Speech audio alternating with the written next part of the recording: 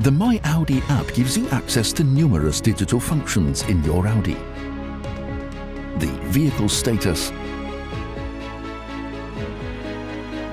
or the route planner, for example.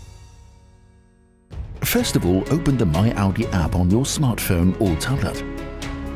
Define your country and language and select Let's Go. Now enter the login data for your My Audi account. In the next step, enter your first name and last name.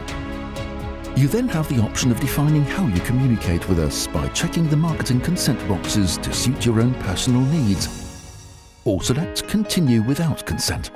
In the first step, you now add your Audi to your My Audi account. To do this, press Add My Audi and choose Add Without Card. Tap the camera icon to scan your vehicle identification number or enter your code manually. This is located below your windshield on the driver's side of your Audi.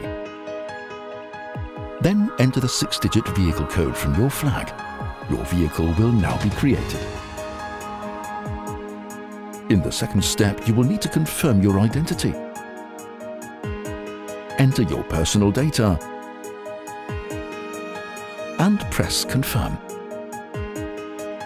You will now be asked to create a four-digit PIN that you will need for security-related functions such as remote unlocking of your Audi.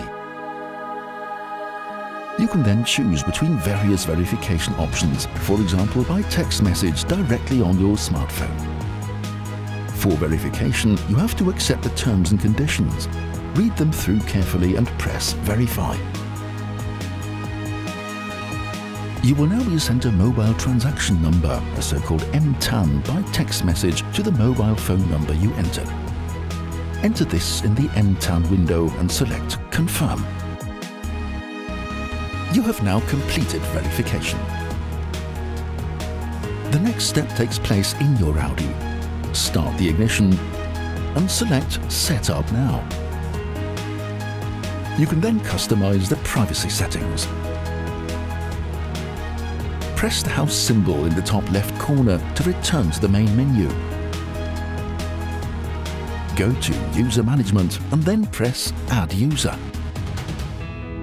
Select Login Now. Now enter the email address of your My Audi account and your password. Then press Login. This process may take a few minutes depending on your internet connection. If you'd like to stay logged into your vehicle permanently, select Yes and enter your self-assigned and securely noted four-digit security PIN. Now you can stay in touch with your Audi conveniently by smartphone or tablet. Note, please keep your email address, your password and your security PIN in a safe place.